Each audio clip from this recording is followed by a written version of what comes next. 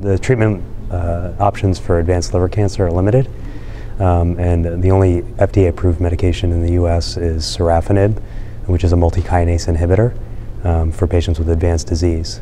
There was a trial in 2008 um, that was published in the New England Journal um, that uh, resulted in the approval of this medication for uh, advanced liver cancer. Um, the trial included patients with very well compensated liver disease and good performance status, and it showed a survival benefit.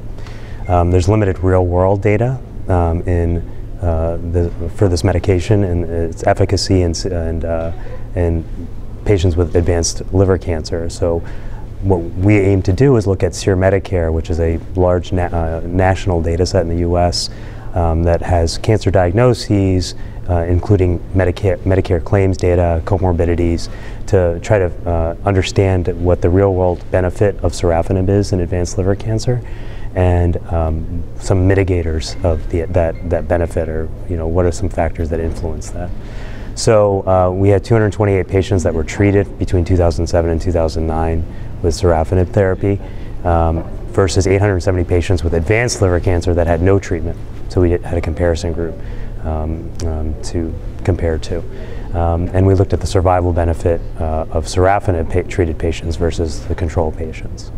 Um, we found that um, patients that were treated with sorafenib had a uh, survival benefit about uh, 88 days uh, compared to untreated patients, which is consistent with the clinical trial data.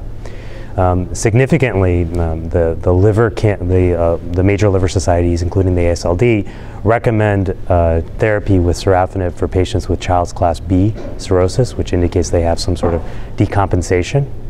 So we were specifically interested in that population because there's a lot there's not very much limited data on seeing what the survival benefit is in that population of patients. So we had coding for patients with decompensation, um, which includes ascites, esophageal varices, and hepatic encephalopathy. And um, once you had a decompensation, that survival benefit decreases down to about 31 days um, versus 88.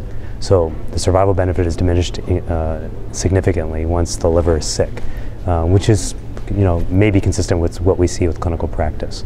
Um, and the strength of that the study is that we have a comparison group to compare that to. So there's about 86 patients in our cohort with decompensation, um, and we compare that to control patients with decompensation. That's how we derived our survival benefit. Um, uh, and so that was the rationale and the results of our study.